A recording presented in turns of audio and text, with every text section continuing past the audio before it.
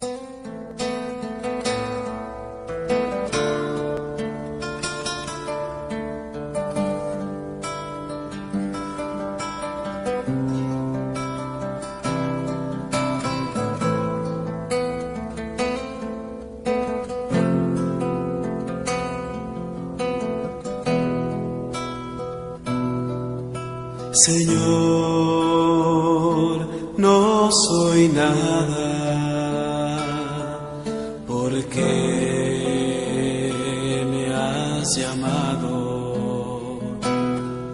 Has pasado por mi puerta y bien sabes que soy pobre y soy débil. Porque te has fijado en mí. Me has seducido, Señor, tu mirada. Me has hablado al corazón y me has querido. Es imposible conocerte y no amarte. Es imposible amarte y no. Sean todos bienvenidos, hermanos y hermanas, a la liturgia de la Eucaristía para este día, domingo 7 de febrero de 2021. Y vamos a iniciar en el nombre del Padre, del Hijo y del Espíritu Santo. Amén. La gracia de Dios vivo, de Jesucristo nuestro hermano, y la comunión del Espíritu Santo esté con todos ustedes. Antes de iniciar, hermanos y hermanas, vamos a pedir perdón a Dios por las veces que lo hemos ofendido y vamos a decir todos juntos. Yo confieso ante Dios Todopoderoso y ante ustedes hermanos que he pecado de pensamiento, palabra, obra y omisión. Por mi culpa, por mi culpa, por mi gran culpa. Por eso ruego a Santa María siempre Virgen, a los ángeles y a los santos, y a ustedes hermanos, que intercedan por mí ante Dios nuestro Señor. Dios Todopoderoso, tenga piedad de nosotros, perdone nuestros pecados y nos lleve a la vida eterna. Amén.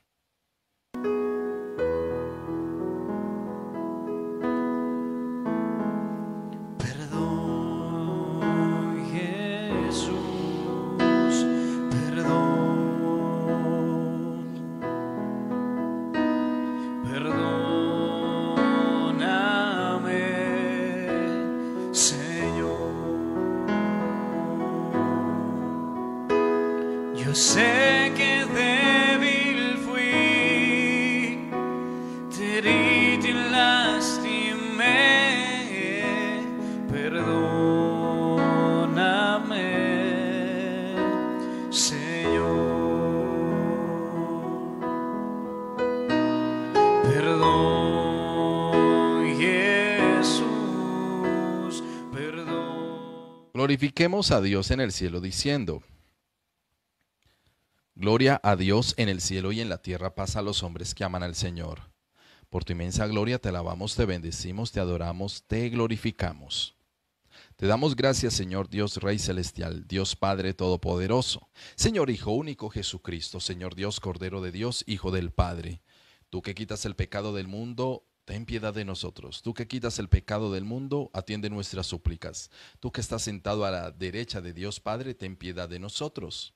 Porque solo tú eres santo, solo tú Señor, solo tú Altísimo Jesucristo, en la gloria de Dios Padre. Amén. Oremos. Dios omnipotente y eterno, que a través de tu gloria eterna muestras la misericordia que tienes con tus hijos. Permite que en este día podamos reconfortar nuestros anhelos e ilusiones, siempre guiados bajo la promesa de tu salvación. Por Cristo Señor nuestro. Amén. Vamos a escuchar la palabra de Dios para este día. Primera lectura del libro de Job. Habló Job diciendo, el hombre está en la tierra cumpliendo un servicio. Sus días son los de un jornalero. como el esclavo suspira por la sombra, como el jornalero guarda el salario. Mi herencia son meses baldíos, me asignan noches de fatiga. Al acostumbrarme, pienso, ¿cuándo me levantaré? Se larga la noche y me harto de dar vueltas hasta el alba. Mis días corren más que la lanzadera y se consumen sin esperanza. Recuerda que mi vida es un soplo y que mis ojos no verán la dicha. Palabra de Dios. Te alabamos, Señor. Al salmo respondemos todos. Alabad al Señor que sana los corazones destrozados. Alabad al Señor que la música es buena. Nuestro Dios merece una alabanza armoniosa. El Señor reconstruye Jerusalén, reúne a los deportados de Israel. Alabad al Señor que sana los corazones destrozados. Él sana los corazones destrozados, venda sus heridas, cuenta el número de las estrellas, a cada una la llama por su nombre. Alabad al Señor los corazones destrozados. El Señor es grande y poderoso, su sabiduría no tiene medida. El Señor sostiene a los humildes, humilla hasta el polvo a los malvados. Alabad al Señor que sana los corazones destrozados. Segunda lectura de la carta del apóstol San Pablo a los Corintios. El hecho de predicar no es para mí motivo de orgullo. No tengo más remedio. Y hay de mí si no anuncio el Evangelio si yo lo hiciera por mi propio gusto, eso mismo sería mi paga. Pero si lo hago a pesar mío, es que me han encargado ese oficio. Entonces, ¿cuál es la paga? Precisamente dar a conocer el Evangelio, anunciándolo de balde sin usar el derecho que me dé la predicación del Evangelio porque siendo libres como soy, me he hecho esclavo de todos para ganar a los más posibles. Para ganar a los débiles, me he hecho a todos para ganar, sea como sea, a algunos. Y hago todo eso por el Evangelio para participar yo también de sus bienes. Palabra de Dios. Te alabamos, Señor. El Señor esté con todos ustedes.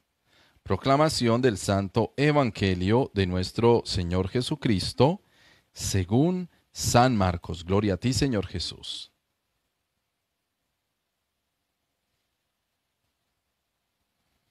En aquel tiempo, al salir Jesús y sus discípulos de la sinagoga, fue con Santiago y Juan a casa de Simón y Andrés. La suegra de Simón estaba en cama con fiebre y se dijeron unos a otros, ¿qué hacemos? Jesús se acercó, cogió la mano, la levantó y se le pasó la fiebre al tocarla.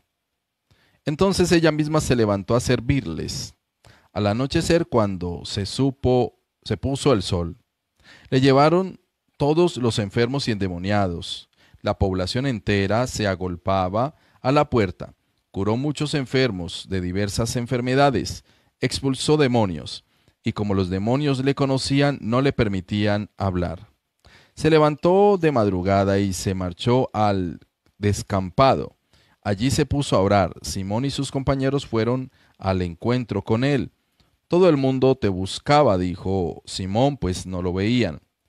Él les respondió, vamos a otra parte, a otra aldea cercana para predicar también allí, para que esto se pueda hacer Así recorrieron toda Galilea predicando en las sinagogas y expulsando demonios.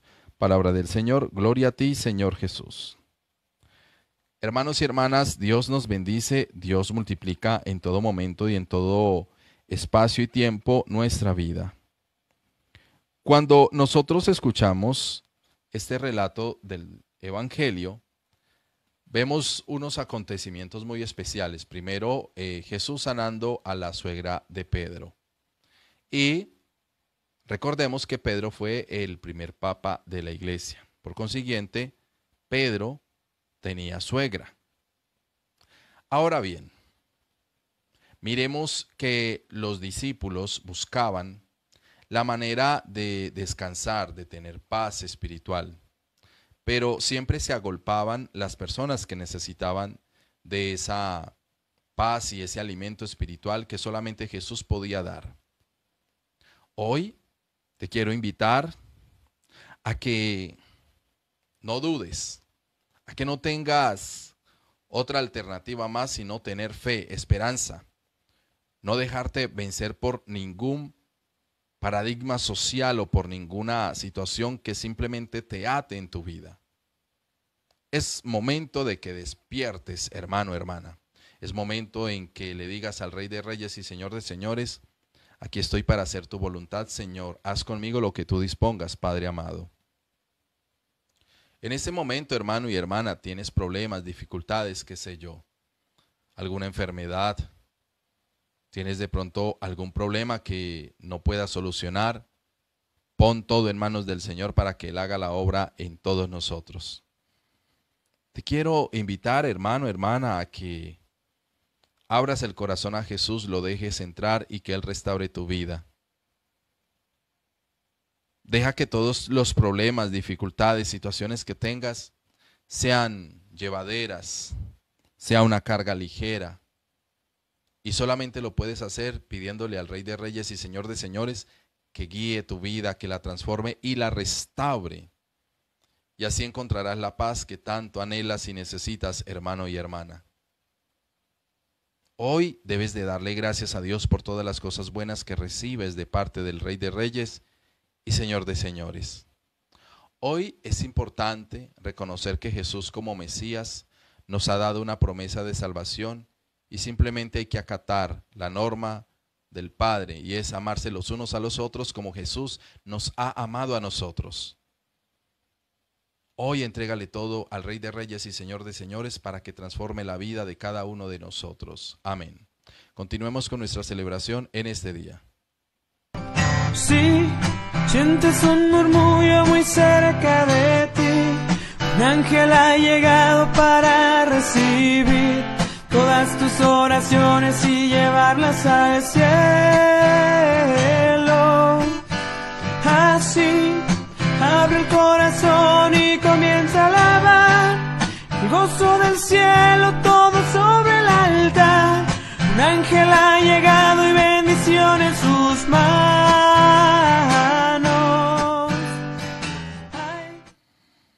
Recibe, Señor, estas ofrendas que hoy presentamos en el altar para que se conviertan en una alabanza y en un gozo perpetuo a ti, Rey Celestial. Que el Señor reciba de tus manos ese sacrificio para alabanza y gloria de su nombre, para nuestro bien y el de toda su santa iglesia. Amén. El Señor esté con todos ustedes. Levantemos el corazón.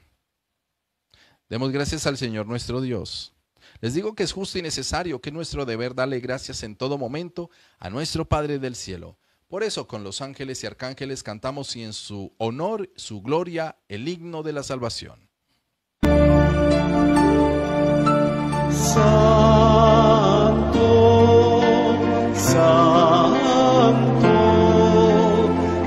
Santo es el Señor, Dios del universo. Santo eres en verdad, Padre, fuente de toda santidad. Por eso te pedimos que santifiques estos dones con la efusión del Espíritu Santo, para que se conviertan en cuerpo y sangre de nuestro Señor Jesucristo. Cuando él iba a ser entregado a su pasión, voluntariamente aceptada, tomó el pan, lo bendijo y se lo dio a sus discípulos, diciendo, Tomen y coman todos de él, porque este es mi cuerpo que será entregado por ustedes y muchos, para el perdón de los pecados. Hagan esto en memoria mía.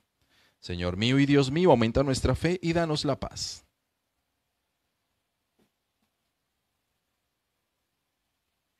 Del mismo modo, acabada la cena, tomó el cáliz en sus santas y venerables manos, lo bendijo, se lo dio a sus discípulos y les dijo, tomen y beban todos de él, porque este es el cáliz de mi sangre, sangre de la alianza nueva y eterna que será derramada por ustedes y muchos, para el perdón de los pecados. Hagan esto en memoria mía. Señor mío y Dios mío, aumenta nuestra fe y danos la paz. Este es el sacramento de nuestra fe. Anunciamos tu muerte, proclamamos tu resurrección. Ven, Señor Jesús. Así pues, Padre, ahora, al contemplar la luz de tu rostro, te damos gracias. Nos pedimos siempre, en paz y en unidad, hacer posible que la salud de cada, de cada uno de nuestros hermanos sea cada día más llevadera. Hoy te pido por mi arzobispo, Monseñor José Rubén García Matiz, Monseñor Eric Fabián Restrepo, todos los demás sacerdotes, diáconos, seminaristas, religiosos y todo el pueblo de Dios. Y con la Virgen María, Madre nuestra, en la advocación rosa mística y Nuestra Señora de la Esperanza, podamos contemplar la vida eterna y cantar tus alabanzas diciendo, Cristo, con Él y en Él, a ti Dios Padre Omnipotente, en la unidad del Espíritu Santo, todo honor y toda gloria por los siglos de los siglos. Amén. Oremos como el mismo Cristo nos ha enseñado. Padre nuestro que estás en el cielo, santificado sea tu nombre, venga a nosotros tu reino, hágase tu voluntad, en la tierra como en el cielo. Danos hoy nuestro pan de cada día, perdona nuestras ofensas, como también nosotros perdonamos a los que nos ofenden. No nos dejes caer en la tentación, ni líbranos del mal. Amén. Líbranos de todos los males, Señor, y concédenos la paz en nuestros días para que, ayudados por tu misericordia, podamos ser libres y protegidos de toda perturbación, mientras esperamos la gloriosa venida de nuestro Salvador Jesucristo, porque tuyo es el reino, el poder y la gloria por siempre, Señor. La paz del Señor esté con ustedes. Desen un saludo fraternal de paz. Pero de Dios que quitas el pecado de los hombres Cordero de Dios que quitas el pecado de los hombres, ten piedad de nuestras almas, ten piedad de nosotros, ten piedad de nuestras almas, ten piedad de nosotros. Este es el Cordero de Dios que quita el pecado del mundo. Dichosos los llamados a la cena del Señor. Señor, no soy digno de que entres en mi casa, pero una palabra tuya bastará para sanarme. Que el cuerpo y la sangre de Cristo guarde nuestra alma para la vida eterna. Amén.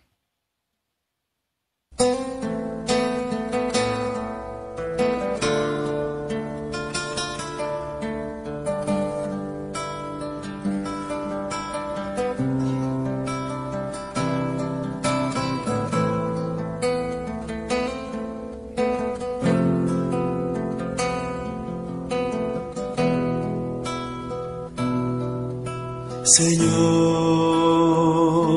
no soy nada, porque me has llamado. Has pasado por mi puerta y bien sabes. Oremos. Señor, que habiendo recibido la palabra y la Eucaristía como un alimento de vida y de salvación, nos permitas cada día aumentar el gozo, la alegría perpetua. Por Cristo Señor nuestro. Amén. El Señor esté con todos ustedes y la bendición de Dios Todopoderoso, Padre, Hijo y Espíritu Santo, descienda sobre cada uno de ustedes y los acompañe siempre. Amén. En ese amor de Cristo podemos continuar en paz con Dios. Demos gracias al Señor. Gracias hermanos y hermanas por estar en esta Eucaristía. Los dejo también con el número de celular 311-778-4946 para que me escriban, dejen sus intenciones, peticiones, oraciones, ofrendas voluntarias o donaciones.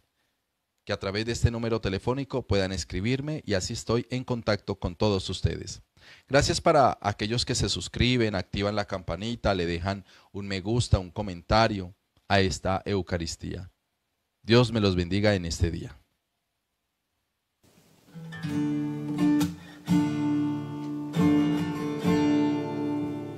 ¿Qué hubiese pasado